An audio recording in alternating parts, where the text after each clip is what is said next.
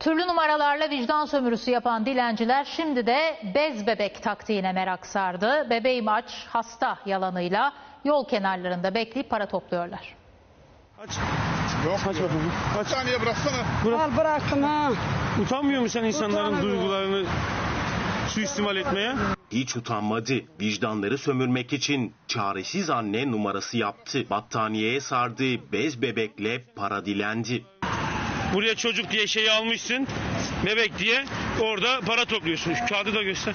Trafik Denetleme Şube Müdürlüğü ekipleri Üsküdar Kısıklı mevkiinde çevre yolu üzerinde uygulama yapıyorlardı. O esnada yol kenarında dilenen dilencileri gördüler ve onları durdurmak istediler. Ancak dilenciler kaçtı. Bunun üzerine polisler onları yakaladı. Bakalım o çocuk mu? Aç şunu. Aç bakayım şunu. Polis ve zabıta ekipleri geri adım atmayınca dilenci pes etti, battaniyeyi açtı. Aç. Yok Aç bakalım. Aç. saniye bıraksana. Al bıraktım ha.